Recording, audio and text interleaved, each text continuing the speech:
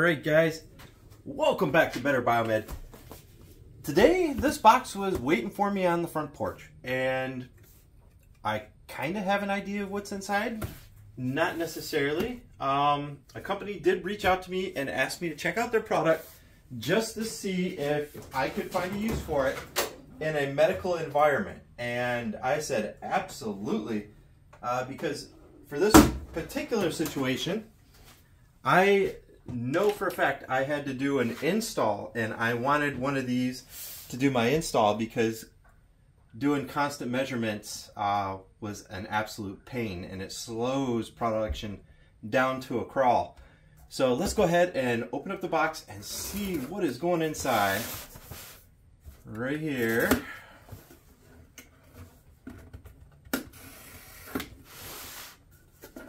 Kind of excited. I've never seen one of these in person, so if it's what I think it is, then this is going to be a first for me. All right. Comes in a old white box.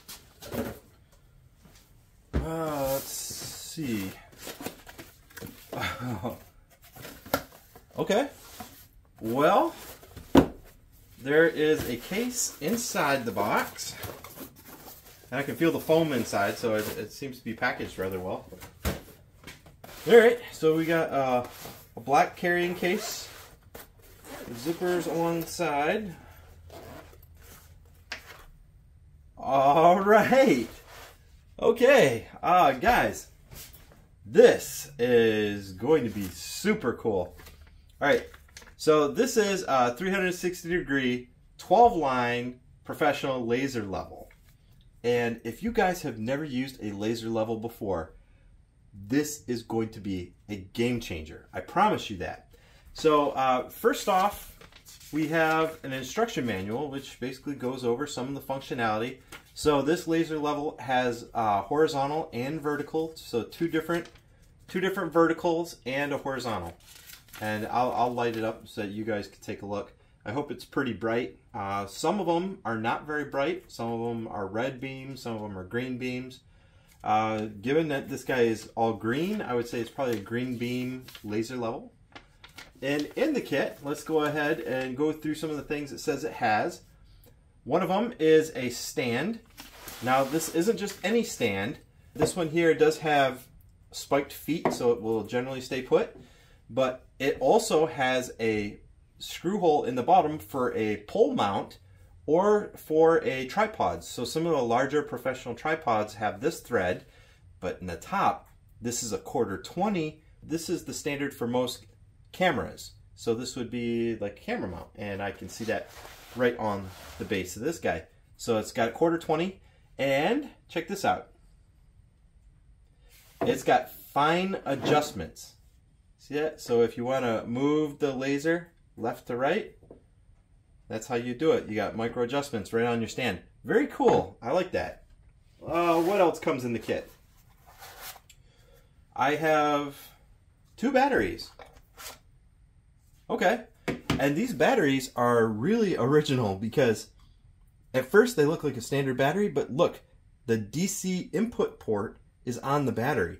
And I always tell people that this is a good idea to put DC ports on things that you can throw away kind of easily because that is the point that gets the most damage. If it's charging and something comes up and slams into it, let's take a look at the uh, charger right here.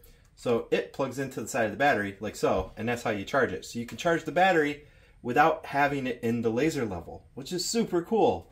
Normally you have to buy an expensive charger or you have to charge it while it's in the laser level, which decreases your ability to use it because now it's got to be in proximity to a plug. They included two batteries, and these are 6,000 milliamp hour 3.7 volt batteries, so that you should get a reasonable amount of life out of those. That's the um, the charger that I just mentioned. Let's see what else we got. Okay, so Remember I was talking about the pole adapter to mount on probably more professional tripods? Here is a quarter 20 to that pole mount adapter. So you could technically mount this on a pole and then mount your laser level on this. Or to simplify it, you just use this guy right here and screw it onto that. Very cool. It's got the adapters. A scissor lift plate. Now a scissor lift plate is what you use if you need to make micro adjustments for elevation. So it's a scissor lift because it's got two beams in the middle and a screw and as the screw pulls on the scissor it rises up and it gives a nice even elevation change. So if you need to make micro adjustments, um, let's say you are on a, a surface like this and you want to level out to another countertop or something, this is what you would use it for. And you can also use this to make uh, compensation for, let's say you're installing a one inch thick marble countertop. Well, you could actually account for that with this laser level scissor lift plate. So you can raise it up or down just a little bit to make up for other material that you might be using.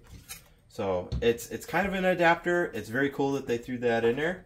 I've never had to use one before, but having one in a nice carrying kit, that's a huge plus, guys. What else do we got? I have a remote. Heck yeah. Your laser level, having a remote is pretty good. So I've got uh, horizontal, vertical, and I've got some other functions on that. Not completely for sure. And I guess this might be the user manual. This uh, QR code on the back. Nice little touch. All right. Okay, so this is an interesting contraption. So we have a magnetic base. Oh yeah.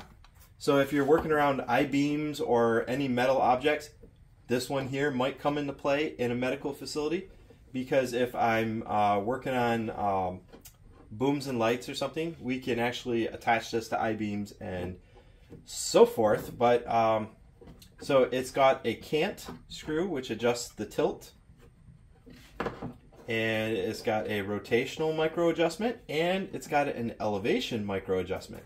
Take a look at that. So that's pretty cool. So you could make all the adjustments you need in one little package. And we have an adapter plate here. Now I'm not completely for sure how this adapter plate would be used. I can see that it's got keyhole slots and it is ferrous so we can use it um, if you're mounting it to wooden beams or something. So there, there is a function for it. I just, I'll, I'll have to read up on it and see how professionals use these metal adapter plates. And that's it. Then there's the case. So this is the laser level itself. Now I can see it's got a little LCD readout we're going to power it up and go ahead and take a look. Let's see if these batteries have uh, charge on them. Oh, holy cow. Okay. Okay, and you can hear it beeping right there. That beeping, yeah. So the beeping is telling you that it's, it's not level. And you can see right here, it's got a kind of a pendulum type effect with your laser line that is just the nature of how these things work. It's got an internal balance system and it will balance itself to a certain degree. So even if you're not on a flat plane, to a certain degree, it will tell you, you know, or, you know, it'll just level it out. So let's see, here is the quarter 20 stud on the bottom. There's a quarter 20 stud here so that you can mount in multiple different ways. Oh, I don't really know how else you would use that, but there's, you know, options, and I love options. So let's see, here's the remote. Let's see if, let's see if I need batteries. Power. All right, I will have to figure this guy out later. When I do an actual demo on this guy, I'm definitely going to use the remote because that's going to be a lifesaver. Now, you can see right now I've got it on horizontal plane and now we can switch it to a vertical plane, which it turns on the side laser beam, which you can see. I can show you right there. And let's see, what else can we do? Oh, it takes little to no pressure on these buttons right here. Little to no pressure at all. And look at all those laser lines.